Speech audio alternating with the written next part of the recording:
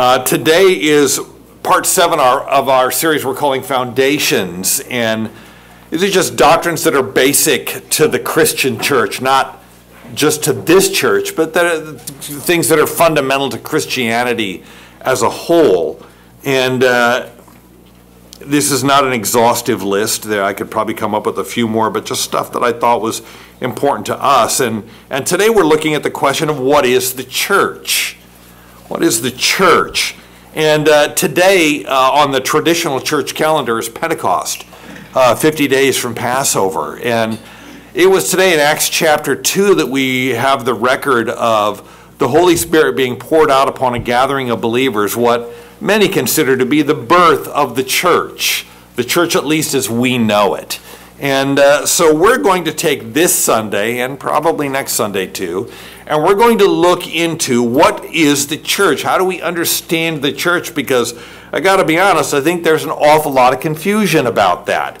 And especially when you look at the latest Pew Research Center facts and figures about the church in America. And I say the church in, in, um, in quotation marks because sometimes what people think is the church is not the church. We're going to clarify that today.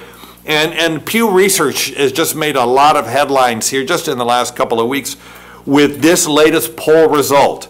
Mainline Protestants make up shrinking number of U.S. adults. Now, I'm not sure who's shrinking, U.S. adults or mainline Protestants, but somebody is shrinking here.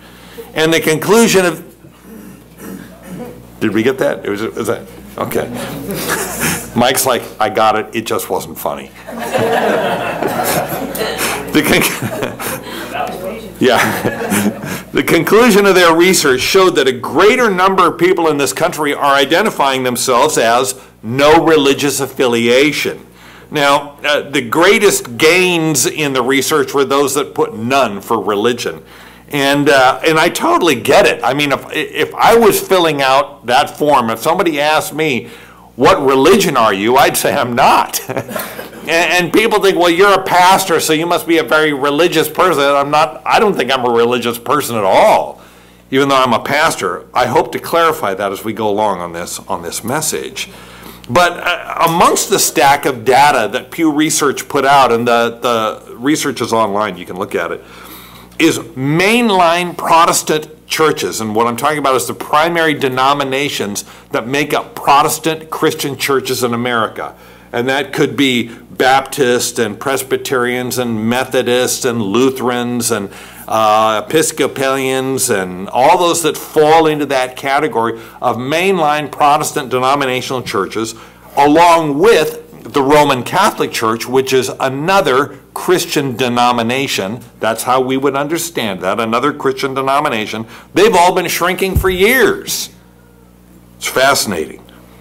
Many point to these statistics as an evidence of the failure of Christianity to win converts over to our religion or to our denomination. Now, I totally understand why people say stuff like that. I totally get it. I look at the research and I understand how they did the research because they tell you how they did their polling. And I understand how they came up with that data. But, and this is my view, you guys can do your own homework. I expect that you would and come to your own conclusions. I understand why people say stuff like that, that the Christianity in America is shrinking. But I also think that their statements belie an ignorance of what the church actually is. If we think the church is made up of churches, then yes, they're failing at a catastrophic rate. Does anybody know how many churches close in America every year? Thousands. Thousand? Any other guesses? 150. Good guess. Three to 4,000 churches close in America every single year. Of course, a phenomenal number of them open every single year, too. And I've seen them come, I've seen them go.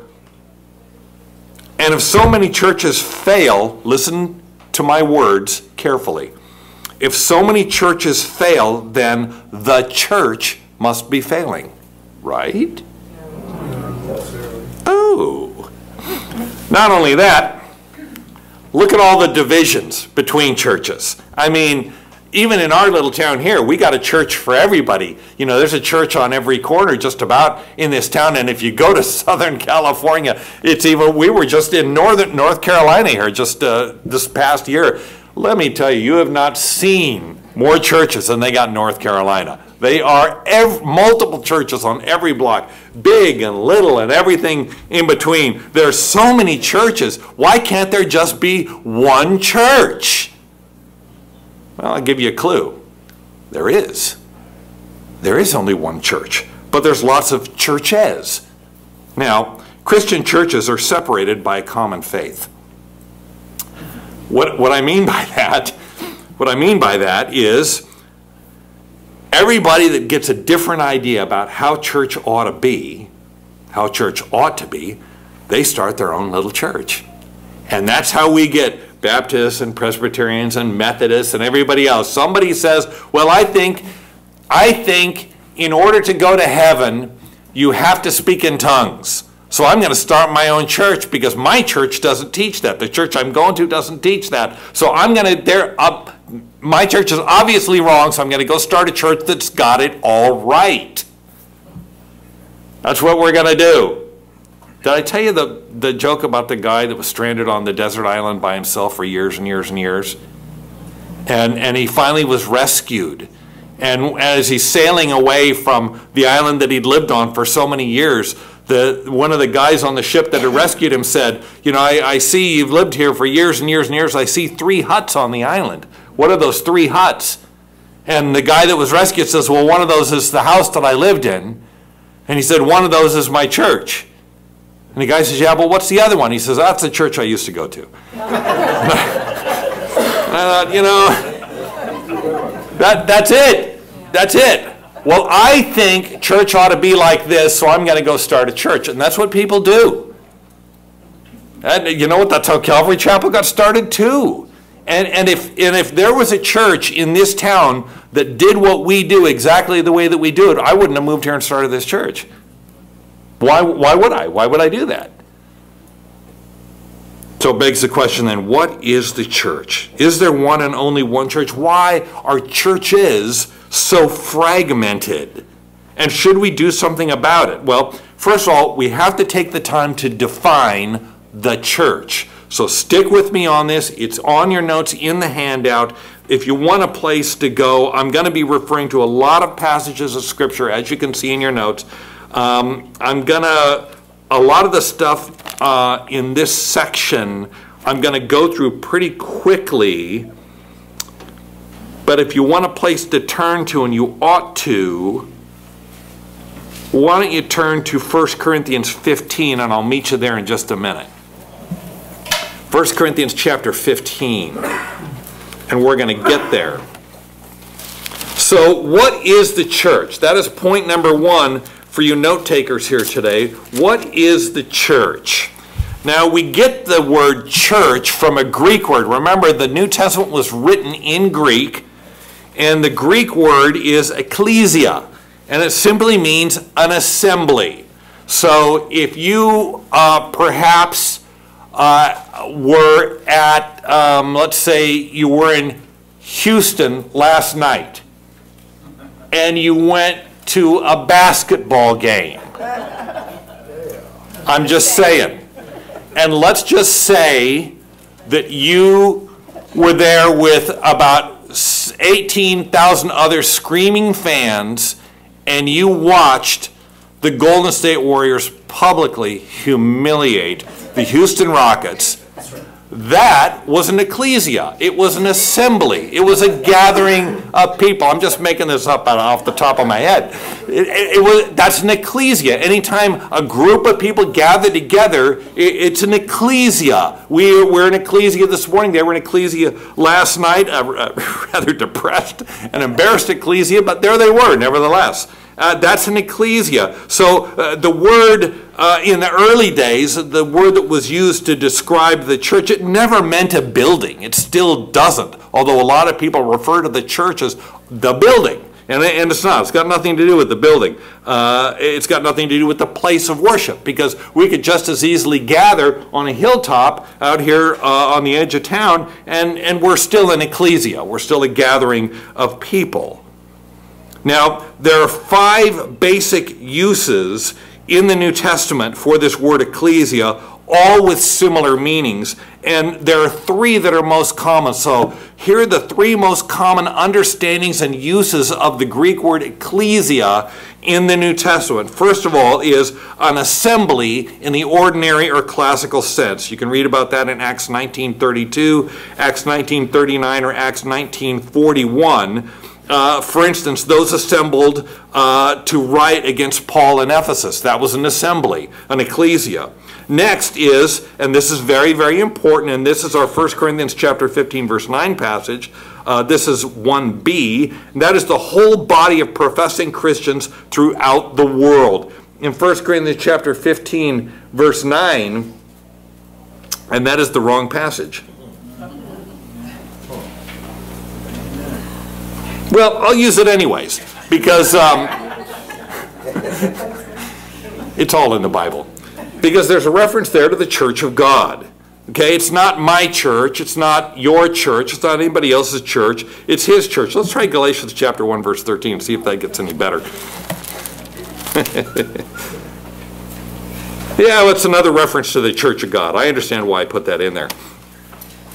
The Church of God, it's, it, there's no denominations as we understand them anywhere in the Bible. It's God's church. It's not your church. It's not my church. It's not Calvary Chapel. It's not the Baptist Church or the Methodist Church. It's, it's God's church. In other words, the church, capital T, capital C, the church. That's made up of the whole body of professing Christians throughout the whole world. It's not defined by a name over the door. It's not defined by a building or a geographical location. Do you understand that? If you've been born again by the Spirit of God, then you are a member of His ecclesia. You are a member of the professing Christians throughout the entire world. This is also referred to as the invisible church. You don't see this church because it's not confined to a building. You see us here and wherever you go in the world, and uh, some of us have had the good pleasure to travel in the world and meet Christians around the world. And it's awesome to be able to meet a Christian in another part of the world and say, We go to the same church, the body of Christ. That's God's church, the invisible church. But that word ecclesia is also used in the New Testament to describe all the Christians in a particular city or area. Now, whether they assemble together in one place, like we are this morning, or in several places for religious worship, there's an ecclesia. Thus, all the disciples in Antioch, forming several congregations, were considered one ecclesia. Acts chapter 13, verse 1. So also we read of the church of God in Corinth, 1 Corinthians chapter 1 verse 2, or the church at Jerusalem, Acts chapter 8 verse 1, or the church of Ephesus, Revelation chapter 2 verse 1. This is also referred to as the local church or the visible church. We're a local church. We are the, the kind of church that we are, what we might say is we are the flavor that we are here in Half Moon Bay. We have a little sign out front of the church, and when you come in, everything says Calvary Chapel on it. That's the name that we go by. We are a local church, Calvary Chapel in Half Moon Bay. Now, the common denominator is easy to spot in all of these different ecclesias, all these different assemblies, and that is the church is made up of God's people. That's what makes up the church. Now, it just so happens that the church also happens to contain many churches. You understand? I'll get to that in just a minute. This is taken, I copied this from uh, Easton's Bible Dictionary. The church visible consists of all those throughout the world that profess the true religion. It is called visible because its members are known and its assemblies are public. That's us. Here there is a mixture of wheat and chaff, saints and sinners. I have to assume every single Sunday that everybody that gathers in this place, not everybody believes exactly the same way or the same thing. I do not assume that everybody that walks in this door is a born again Christian just like I am and just like some of us. I don't assume that. I can't. God has commanded his people to organize themselves into distinctive, visible ecclesiastical communities with constitutions, laws, and offices, ordinances, and discipline for the great purpose of giving visibility to his kingdom. In other words, what does the body of Christ look like? What does the church, capital the church, what does that look like in the world where people are supposed to be able to walk into this place and see a little example of it in this place? Now, uh, you know, as I like to say sometimes, I think what church does is church puts the fun into dysfunction because every church is made up of, of another common denominator, and this is the part where things get a little messy. And that is, it's you. It's, it's people. It, the minute people get involved with anything, it gets messy because we all bring in our different functions and dysfunctions.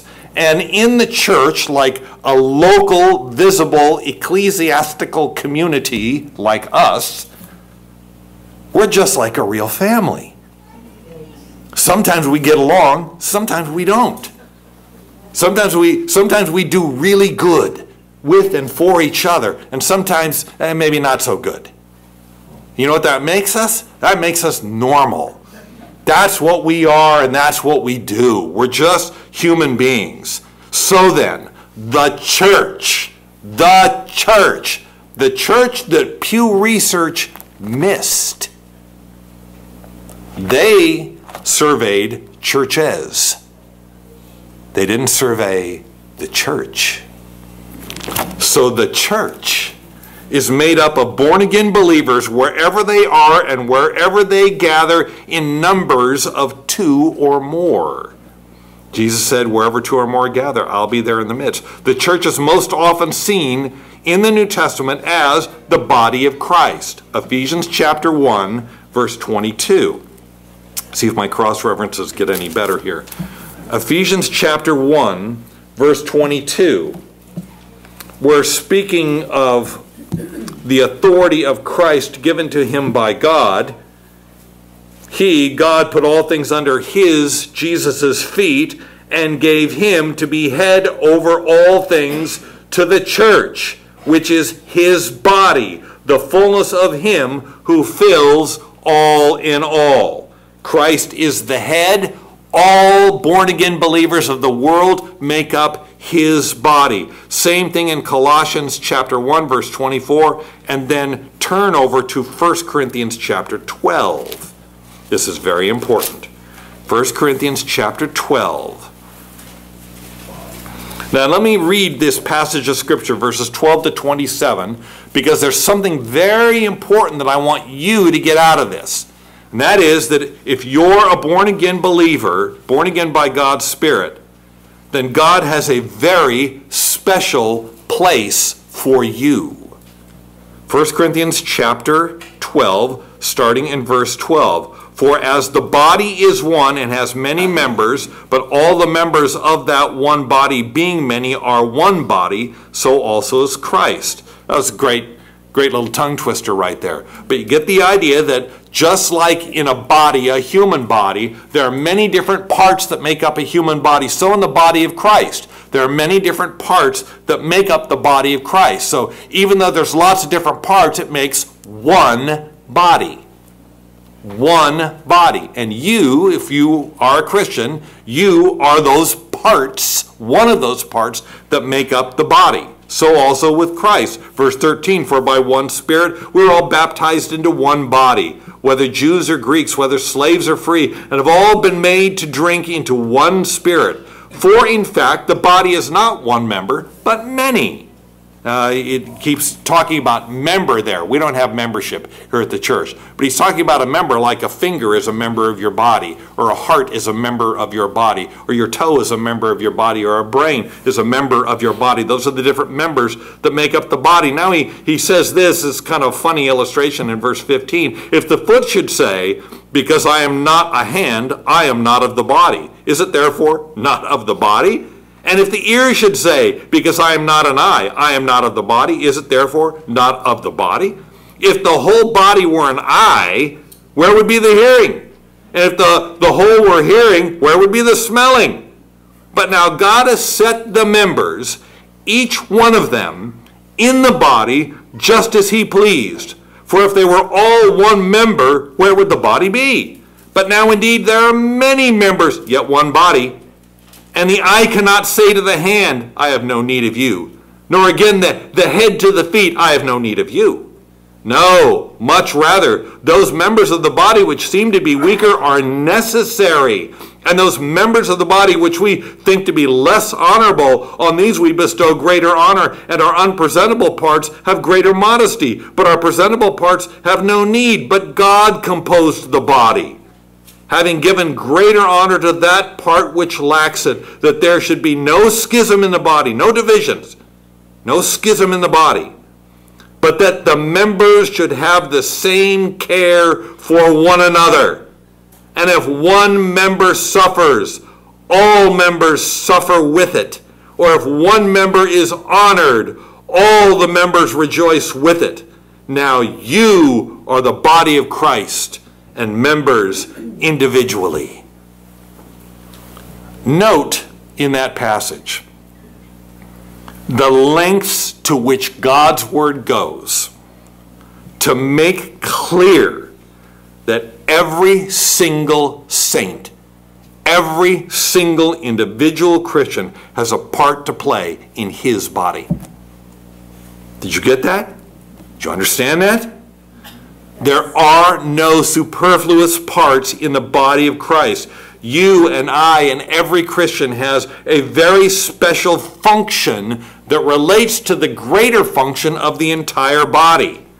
Note also that there is no mention here of churches per se or divisions between Christians. As a matter of fact, there isn't any mention of churches or denominations in God's Word at all. So we could conclude from God's Word that denominations, as we understand them, did not exist in the first century, and in fact, they're nowhere to be found in Scripture. Now, let me say this denominations are not evil, they're just a creation of humans, that's all. One church is not necessarily the right church or the wrong church. And what we tend to do as individuals is we tend to congregate with people that believe the same things that we do. That makes sense, but it's not necessarily the best thing to do. Because what I'd rather do is I'd rather go congregate with somebody that's really trying to get at the heart of the truth. And if they're trying to get at the heart of the truth, that means that I may confront things that I don't necessarily agree with. Then I have to decide wait a second, maybe I'm wrong. Maybe what I've thought, maybe what I believed up to this point about a given thing is wrong. Maybe I need to think about that. Look for truth seekers. Look for people that are fearless when it comes to opening up God's Word and dismantling it and seeking not just God's Word, but seeking the heart of God through His Word. You know, I think one of the mistakes that we can make, especially when you're a Bible centric church like we are, you know, every service that we do, we're in God's Word, every single one. This morning and Tuesday night and Wednesday night and Thursday night, we're all in God's Word. And one of the errors that we can make, quite honestly, is that we begin to worship the Word. And we make the Word into God. And we, and we make all of our efforts just, just getting smarter and gaining more information about the Word. But in fact, the Word is the gateway to know God better, personally. It's a relationship. It's not an, it's not an issue of how smart I can be or how many Bible verses I can memorize. It's how well do I know God who is the author of it. I want to draw ever closer to Him, into a greater and deeper relationship with Him, to know Him better and better, to walk in a more intimate fellowship with Him every moment of every single day. We do that through our knowledge of Him that comes through the Word. So let's beware not to worship the Word. Again, denominations aren't evil, they're just an invention of man. And let's also say that those things that divide churches, are churches divided? Yes. Let's answer this question right now. Is the body of Christ divided? The answer is no. The body of Christ is never divided. Are churches divided? Yes, absolutely, and every single day. As I said, we're separated by common faith. You know, if somebody gets an idea in their head that they think that this is the way that they want to do it, and the church I'm going to doesn't do it that way, so I'm going to go out start my own church, that's okay. And it doesn't even necessarily mean that we're not on the same team. We are on the same team. But there's a lot of things that are worth dividing over. Now, if somebody says, well, gee, you know, I'm a Christian too, but, you know, I don't believe that the Bible's the Word of God. I don't believe it's the inspired Word of God. So we're going to use some other books to go along with it. Well, you know what? I disagree with you. And so I'm going to stick to what I think is right. If you want to go off and do that, you can go off and do that. If you think you've got a prophet that's got a better revelation, knock yourself out. But I'm going to stick with what I got right here. You want to start a church like that? Go ahead. You want to go to a church like that? Well, it's probably not this church. So there's lots of different reasons that are worth dividing over. You want to divide over fundamentals, basics, Bible doctrine. You want to divide over things that are primary, then, then we're going to divide. You want to divide over things that are secondary? Okay, go ahead. You, you think that um, speaking in tongues is evidence of baptism of the Holy Spirit. No, I don't necessarily agree with that. But if you think that that's true, that's cool. That's all right. That's a secondary thing. That's not something that I think that we really need to divide over. You want a fellowship here? You can. I'll just as equally fellowship at your church too. I just happen to think on that secondary issue, you're wrong. I think it's a secondary issue. Does, does the rapture of the church happen before the tribulation, middle of the tribulation, end of the tribulation? I think it's a secondary issue. I think it's a really important issue, but I think it's a secondary issue. I don't think it's something that's worth dividing over. There's lots of things that are worth dividing over. You don't think that Jesus was God incarnate? Going to divide with you on that one. You don't think the Bible's the Word of God? Yeah, going to divide with you on that one. And there's a, then there's a handful of others too. And, and ultimately, why would I want to why would I want a fellowship with somebody that I really genuinely believe is living in contradiction to God's Word. God's Word makes our doctrine clear, and the fundamentals of our faith, and that's why we're doing this series on foundation, the fundamentals of our faith, they're not difficult to understand. They may be difficult to believe, but they're not difficult to understand because God word, God's Word makes these things really abundantly clear. How much studying do you want to do? So then, what are denominations? Denominations commonly are Christians separated by that common faith. One wants to speak in tongues, another think that's evil, thus two churches are born. So, is the body of Christ, you understand what the body of Christ is, made up of all believers, those that have been born again by God's Spirit, anywhere in the world, is the body of Christ divided? You say, no. The body of Christ is never divided. You want to try that again? Is the body of Christ divided? Are churches divided? Yes. yes. okay. We're reasonably clear on that? Yes. Okay. Okay. All right. Good. Good. Now, understanding what the church is, the body of Christ, and understanding that wherever there are born again followers of Jesus Christ, there is a church, then what is the church supposed to do? Here we are. What is the church supposed to do? Is the church supposed to come together every Sunday for an hour and a half and listen to me talk? Look, if, if this is it, what a letdown. What's the church supposed to do? Point number two. And that is the responsibilities of the church. My wife would sit here and listen to me every week for an hour and a half. I know she would, mostly. The responsibility,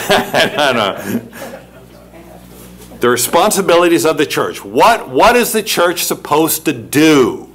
And this is probably one place where there's more disagreement and uh, misinterpretation than anything. Well, the church is supposed to feed the poor. Uh, not exactly that. Well, the church is supposed to love everybody. Oh, you know, yeah, okay, got that. Got six brief things for you to consider. Turn over to Matthew chapter 28.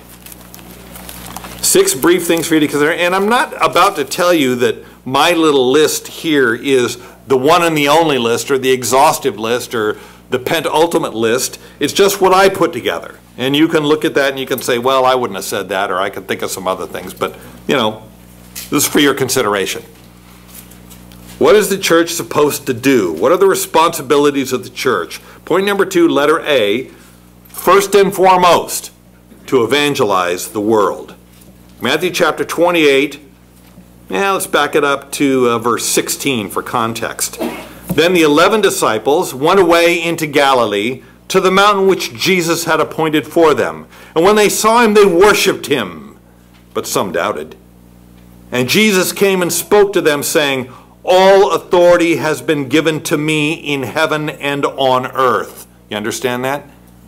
All authority has been given to Jesus in heaven and on earth. He rules and reigns over everything. Go, therefore and make disciples of all the nations, baptizing them in the name of the Father and the Son and the Holy Spirit, teaching them to observe all the things that I have commanded you. And lo, I am with you always, even to the end of the age. First and foremost, the responsibility of the church is to evangelize the world. Now, this is the primary task of every individual believer that has been prepared and equipped by the leadership of the church. Did you hear what I just said? This is the primary task of every individual, we got that part,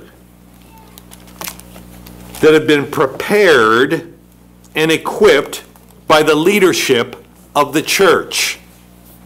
You wondered what you're doing here this morning. You may be asking yourself right now, why am I here? What am I doing here? I'm going to tell you why in Ephesians chapter 4, verse 11, and he himself, that's speaking of Jesus, he himself gave some to be apostles, some prophets, some evangelists, some pastors and teachers for the equipping of the saints for the work of the ministry, for the edifying of the body of Christ. So the responsibility of the leadership of this church is to train you and to equip you in the doctrines of God's Word so that you might be able to go out and evangelize the world, to go into all nations and, and to preach the gospel. Now, Jesus did not send the church to evangelize the world, He sent every believer to evangelize the world. We sometimes look at the church and think, well, that's that's the church's responsibility to go out and do that. And so we put something in the offering and we think, there, now they've got the money, the church has got the money to go out and do that work. Who's the church? it's you. You're the church. You can't put money in the box and say, now the church will go out and do it. You're the church. You're the one that goes out and does the work. Instead of putting a dollar in the offering, buy yourself a Dr. Pepper and go out and evangelize the world. It's the responsibility of the church. Every believer is to do that work. It's the work of the church leadership to equip you to do that work. Where do you go to learn God's Word in the many different ways that we learn it here? This is the only place that you can get it. You have to go to church. Because when you come together, we have a purpose for coming together, and that is we're getting equipped so we can go out and do the work. That's what we're doing. And every study that we have here is a little bit different than everything else. Little bit different ways of learning God's Word. Secondly, or, or letter B under point number two, responsibility of the church is to make disciples out of converts. That's also in Matthew chapter 28. Go therefore and make disciples. Now, this is where we see the roll up your shirt sleeves kind of work getting done. We have to make converts for sure, and all disciples start as converts, but not all converts become disciples. You understand that? In other words, we have to make disciples, and a disciple is defined in Scripture as a learner. A learner. And I like that because I like to learn. But a learner is more than just an event, it's a lifestyle. A disciple is a lifestyle. Being a disciple, listen to this carefully. Being a disciple means leaving out or leaving behind all that is not an integral part of the process of learning. Did you get that? I'll give it to you again. Being a disciple means leaving out or leaving behind all that is not an integral part of that process. Now, I know what you're thinking because I'm thinking the same thing. Let's quit work and stay home. Doesn't work that way.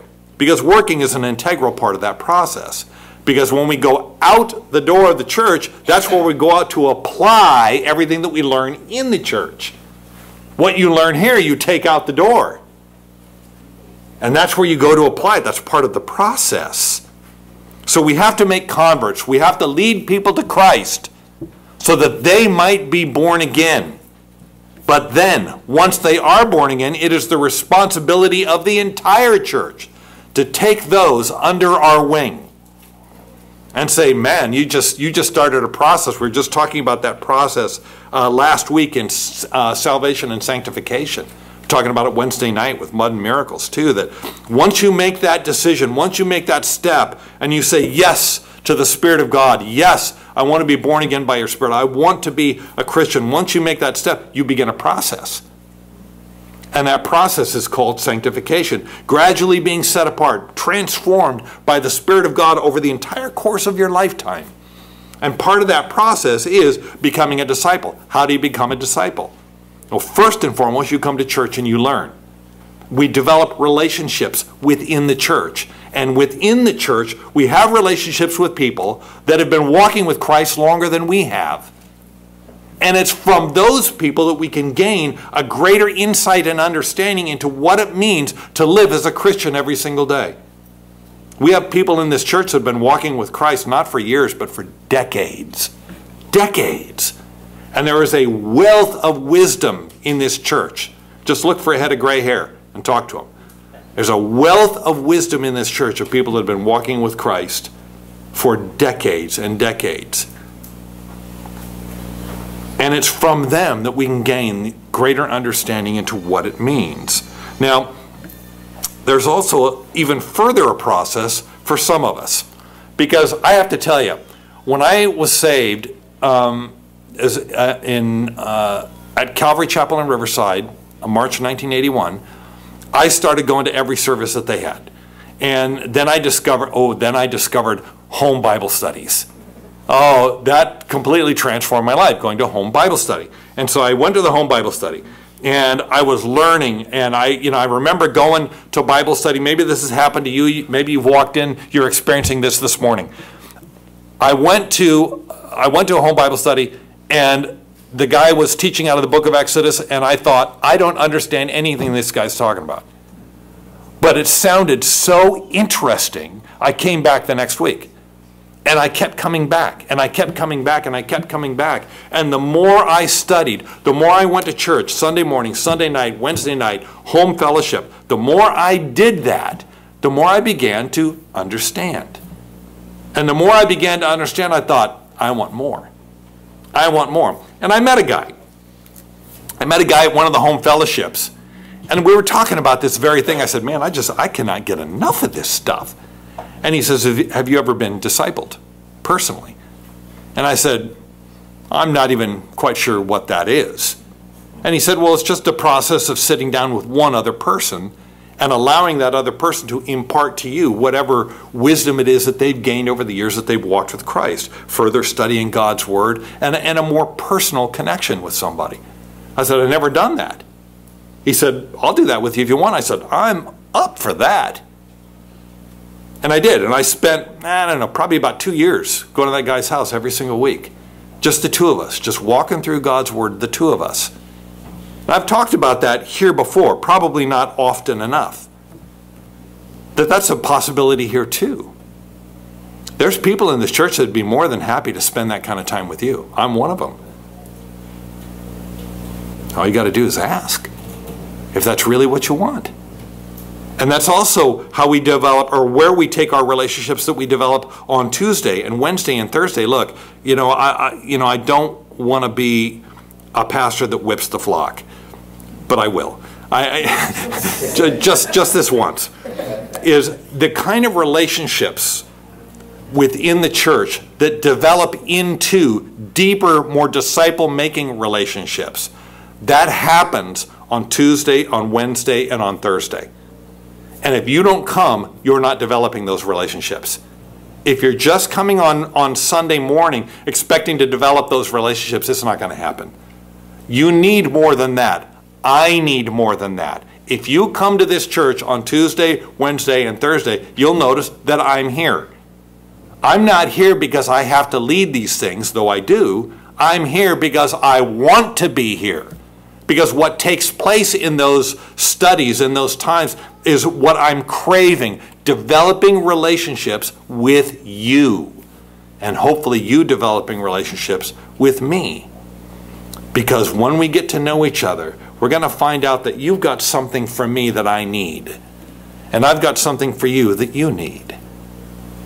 And until we really begin figuring that out, we're just going to be a general ecclesia. We need to take that next step to become the church, an active member of the body. Remember what Paul said back there in 1 Corinthians chapter 12. You know, what, what, what if the eye says to the, to the nose, I don't need you? You can't do that. In other words, for a body to be healthy and whole, it needs all of its parts, and it needs all of its parts functioning. How are you doing? to be a functioning part of the body, you got to come and you got to participate. Because you add something to this mix. In our little ecclesia here, you add something to this mix. And if you're not here, what you add isn't here. If I'm not here, what I add isn't here. That means we've got a stew, but just not quite so many ingredients. And if you like stuff like that, you like a lot of ingredients. You know, when Deb makes a salad, it's like a kitchen sink salad. It's like any anything in the refrigerator goes into her salad, and and that's kind of us. You know, we're a little bit of everything. Some of us are leafy and green. You know, so. I guess what I what I keep trying to say is I need you to be here and you need me to be here and look around at the people that are seated all around you. You need them to be here too, and they need you to be here. To be a functioning body. And the healthier each one of us is when we come together, we make up a healthy church. Small c. And we're doing our part to make the church healthy because we're participating. Part of that is making disciples out of converts. Boy, the Apostle Paul got it, Philippians chapter 3, verses 7 to 14, when he's talking about, you know, this one thing I do, forgetting what's behind, I'm pressing towards what's ahead. I got work to do, and I want to be in this game. I don't want to just be an observer in the game. I want to be a player in the game. I want to be I want to be the one that's leading other people to Christ. I want to be the one that's helping other people grow in their relationship with Christ. I want to be the one that's developing deeper and closer relationships with everybody in my little ecclesia so we get to know each other better so you can add into my spiritual life the things that are missing that only you can add. That's why I have such a horrible time when anybody leaves this church. I have fits. I get stomach aches. I don't sleep. I hate it when people leave the church because when they do, well, there was there's some that when they leave it's probably okay. But but but when people leave the church, it it it physically hurts because what they add into my life is now gone. And I don't like that. I'm a loyalist. I'm a, I'm a one woman man. I like I like deep and long lasting, lifelong relationships. That's what I like. And that's what I want. And that's what I want this church to do and to be.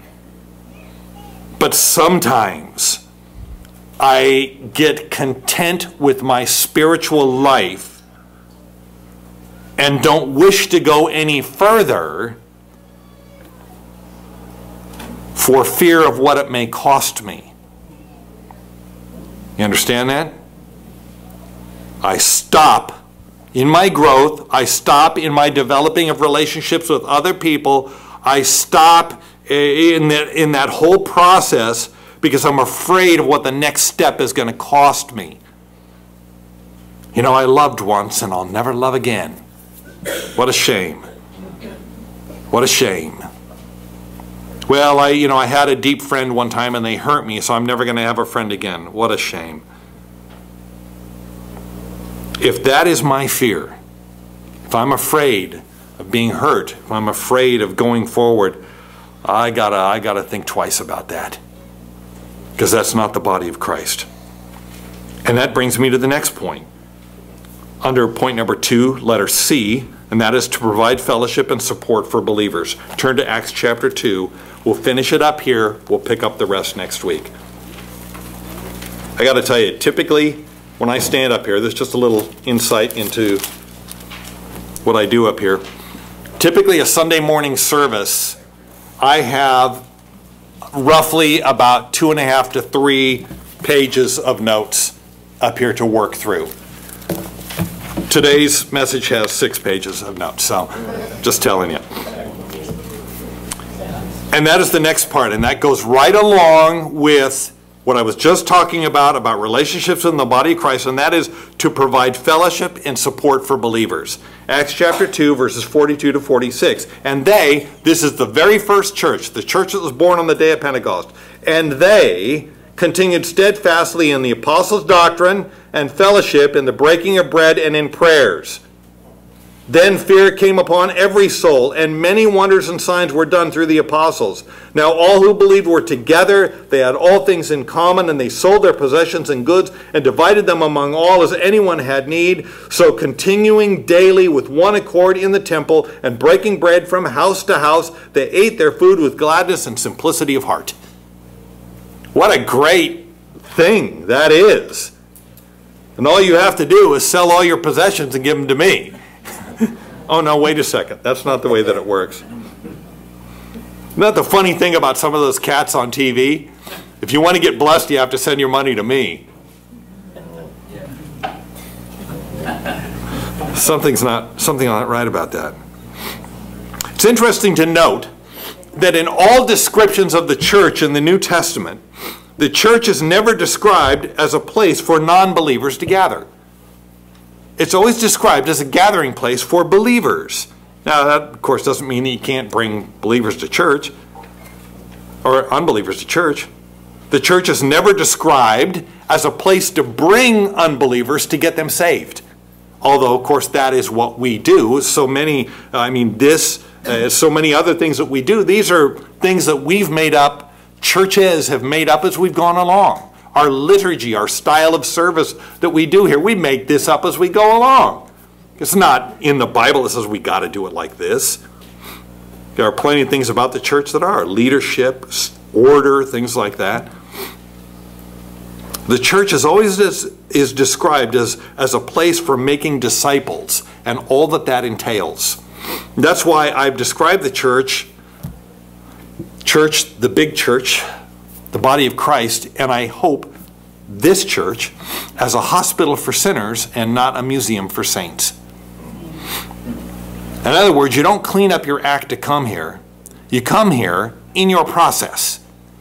And this is a part of your process. Coming to church here is a part of your, your process.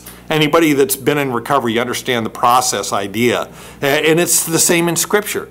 God's got a starting point. You've been born again. God's got an ending point. That's when you die. And the process is everything in between. And, and church, the, the local assembly, the local ecclesia, Calvary Chapel, Half Moon Bay, this is where we come for fellowship amongst one another and support in our walk and our relationship with Christ. And there's so many different levels. I like to think of it as uh, concentric circles of fellowship in the church. There's some that come to church. We know you on Sunday morning. We don't know you the rest of the week. You don't come any other time, or we don't see you that often. We love you. God bless you. We're so happy that you're here. And there's some of us that are here uh, for almost everything. Some of us are here for every single thing. And the people that are here for every single thing, those are the people we get to know the best, right? We, we develop closer and deeper relationships with them over time. You, you just have to decide how deep you want to go. And, and I can tell you, because I know myself and I know the leadership of this church, we're ready to go as deep as you want to go.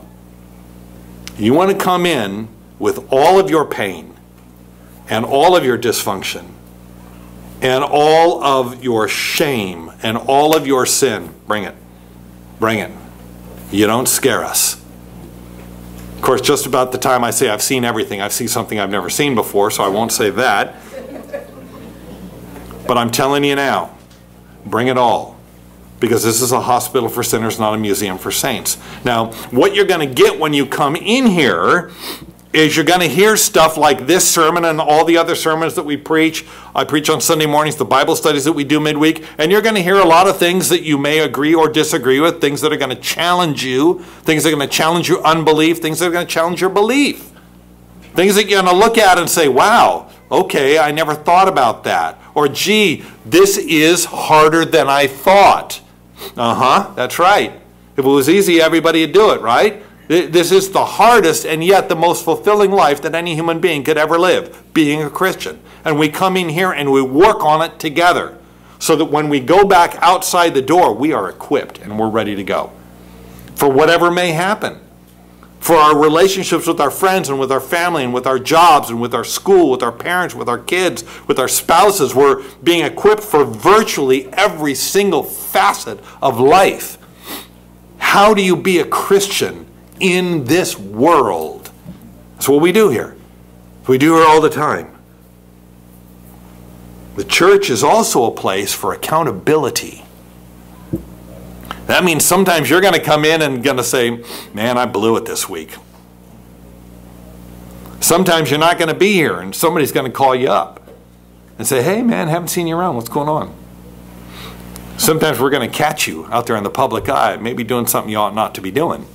We're going to say, hey, come on, man, what's up? What are you doing? Shouldn't be doing that, and you know it. Come on, man, let's go to church. let's go to Bible study. Accountability.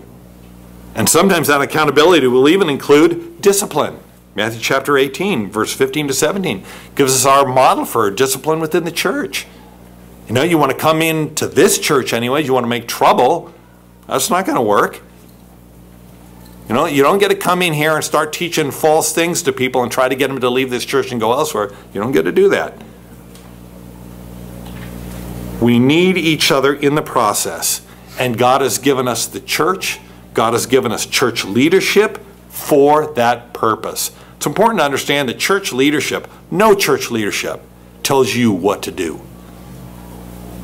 No church leadership says, well, you know, we don't think that you should do this. We think that you should get in line. We've prayed about it and we think that you should do this. Now, that's not what church leadership does. Now, if you want an opinion, I'd be glad to give you one. You want to say, well, gee, you know, I'm praying about taking this job. Do you think I should take it?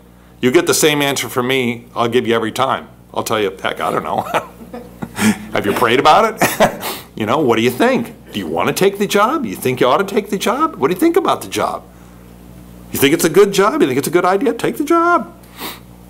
I can't tell you what to do. But I can tell you a lot of other stuff. You got a question about God's Word? I can at least direct you to where you can find an answer. I may not have the answer, don't have all the answers, in spite of what I tell my wife. I don't have all the answers.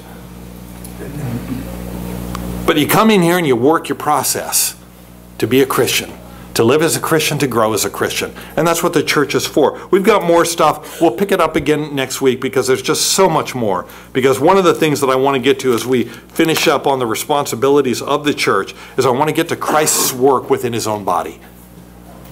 What is the role of Christ, his relationship to the church? I want to get to that. We'll deal with that next week. Let's pray. Lord Jesus, we're, we're grateful that your word has given us as many answers as we could possibly uh, ever want to know. And that when it comes to being the church, the real church, not the church that gets researched and polled, but the church that exists as born again believers throughout the entire world, your body, we're thankful, Lord, that you've made that clear. And that we don't have to worry about what church we're a member of. We're a member of your body, and that's all that counts. Lord, we thank you that, that you've given us the grace and, and that you're patient enough with us that you put up with all of our churches and all of our disagreements that has created those churches. And Lord, I just pray that no matter how many different churches there are, that we would all be laboring on the same team for the same goals evangelizing the world, making disciples out of those converts, building up, supporting believers, and making disciples. Lord, I pray that we'd all be laboring for those same goals. And Lord, I pray that this church, this little ecclesia, that we would be laboring for those purposes that you've set down for us, that we would be faithful to those things that we would be faithful to you, that we would be faithful to each other. Lord, we need you and we need each other, and we're thankful that you've given us to one another for these purposes. For it's in Jesus' name that we pray. Amen.